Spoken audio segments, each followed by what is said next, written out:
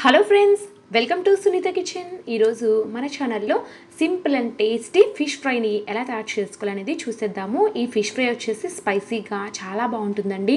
పై layer అనేది క్రిస్పీగా ఉండి పిల్లల దగ్గర నుండి పెద్దల వరకు చాలా ఇష్టంగా తినే విధంగా ఉంటుందన్నమాట.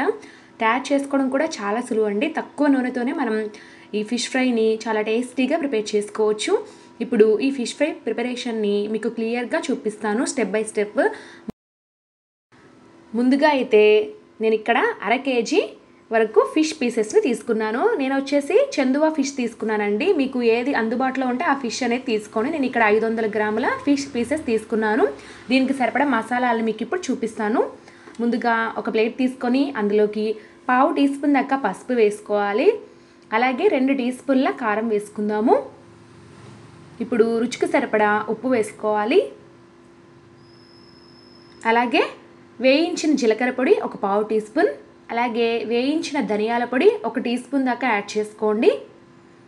ఇప్పుడు గరం మసాలా కూడా ఒక టీ స్పూన్ దాకా యాడ్ చేసుకోవాలి. అలాగే మిరియాల పొడి ఒక పావు టీ స్పూన్ యాడ్ చేసుకోండి సరిపోతుంది. మరి ఎక్కువ వేసారంటే ఘాట్ అయిపోతుందండి. కొద్దిగా ఫుడ్ కలర్ యాడ్ చేశాను ఒక చిటికడు. మీకు ఇష్టమైతేనే యాడ్ చేసుకోండి లేకపోతే స్కిప్ చేసేయచ్చు. ఇప్పుడైతే ఒక టేబుల్ స్పూన్ పైన అల్లం వెల్లుల్లి పేస్ట్ని ఫ్రెష్గా దంచింది యాడ్ చేసుకోండి. మంచి ఫ్లేవర్ వస్తుంది. రెండు టీ స్పూన్ల నూనె వేసాను ఇప్పుడు. చివరగా ఒక టేబుల్ స్పూన్ దాకా నిమ్మరసం వేసి మనం వేసిన ఇంగ్రీడియంట్స్ అన్నీ కూడా కలిసే విధంగా కలుపుకోవాలి. మనం మసాలాలను ఎప్పుడు కూడా పక్కన కలుపుకుంటేనే అవన్నీ కూడా బాగా కలుస్తాయండి. మనం డైరెక్ట్గా ఫిష్ పీసెస్ మీద ఇలా మసాలాలు వేసామంటే సరిగ్గా కలవ అన్నమాట అన్నీ కూడా. సో ఇలా అన్నిటినీ కూడా బాగా కలుపుకోండి.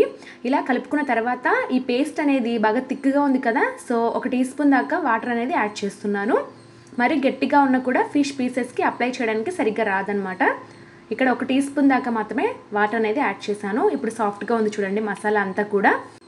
ఇక్కడ మసాలా రెడీ అయిపోయిందండి. ఈ మసాలాను శుభ్రంగా కడిగి పెట్టుకున్నటువంటి ఫిష్ పీసెస్కి ఒక్కొక్క దానికి ఇలాగా ప్రెస్ చేస్తూ బాగా అప్లై చేసుకోవాలి అంతా కూడా.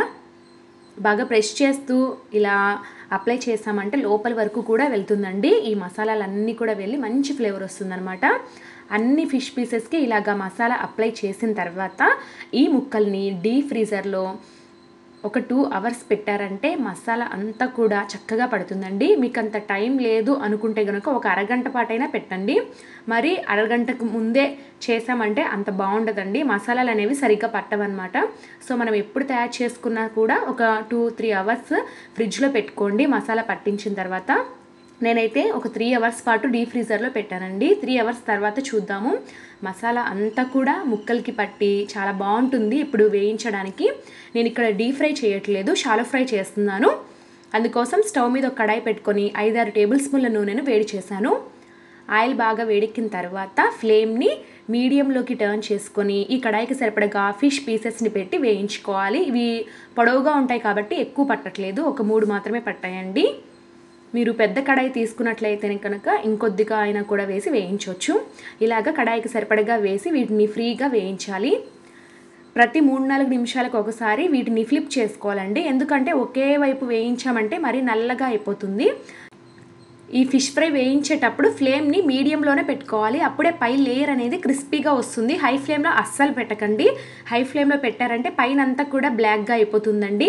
లోపల కూడా సరిగ్గా ఉడకదనమాట మనకి లేయర్ పైన క్రిస్పీగా రావాలంటే ఖచ్చితంగా మీడియం ఫ్లేమ్లో పెట్టి ప్రతి మూడు నాలుగు నిమిషాలకు ఒకసారి వీటిని ఫ్లిప్ చేస్తూ ఉండాలి. అప్పుడే లోపల వరకు కూడా వేగి చాలా బాగుంటుందన్నమాట. నేనైతే ఇక్కడ ఒక్కొక్క పీస్ని పది నిమిషాల పాటు వేయించాను. రెండు వైపులా కూడా తిప్పుకుంటూ సో మనకి ఇక్కడ పర్ఫెక్ట్గా వచ్చింది టెక్స్చర్ అనేది. పై లేయర్ అనేది క్రిస్పీగా చాలా బాగా ఉడికిందండి ఫిష్ పీస్ కూడా. ఇప్పుడు వీటిని పక్కకు తీసి పెట్టుకుందాము. మిగతా పీసెస్ని కూడా ఇలాగే మిగతా ఆయిల్లో వేయించుకోవాలి. ఆయిల్ కూడా ఎక్కువ పీల్చవండి. ఈ ఆయిల్ మనకి మిగిలిపోతుంది. దాన్ని మరొకసారి యూస్ చేసుకోవచ్చు. ఫిష్ కర్రీ చేసుకునేటప్పుడు యూస్ చేసుకుంటే సరిపోతుంది. ఈ ఫిష్ ఫ్రైని స్పెషల్గా మనం ఇంట్లో పప్పు రసం సాంబార్ లాంటివి చేసుకున్నప్పుడు సైడ్ డిష్గా చేసుకున్నారంటే చాలా చాలా బాగుంటుందండి. మీకు షాలో ఫ్రైలో కూడా ఆయిల్ ఎక్కువగా ఉంది అనుకున్నట్లయితే కనుక మనం మసాలాని పట్టించిన టూ త్రీ అవర్స్ తర్వాత మీరు ఓవెన్లో పెట్టి రెండు వైపులా కూడా ఫ్లిప్ చేసి ఒక ఎయిట్ మినిట్స్ వరకు పెట్టారంటే ఫిష్ ఫ్రై అనేది రెడీ అయిపోతుంది. ఆయిల్ అనేది అస్సలు పట్టదు కదా ఓవెన్లో అయితే. సో అలా ఇష్టమైన వాళ్ళు అలా అయినా ఫ్రై చేసుకోవచ్చు.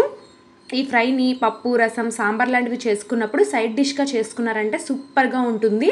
నేను వేసిన మసాలాలు అన్నీ కూడా పర్ఫెక్ట్ కొలతలతో చేశానండి. మీరు కూడా ట్రై చేయాలనుకుంటే అలాగే చేయండి. ప్రతి బయటని కూడా ఎంజాయ్ చేస్తూ తింటారు. డెఫినెట్గా మీకు నచ్చుతుందండి. సో ఈ వీడియో మీకు బాగా నచ్చినట్లయితే వీడియోని లైక్ చేయండి. మీ ఫ్రెండ్స్ అండ్ రిలేటివ్స్కి షేర్ చేయండి. Thank you for watching.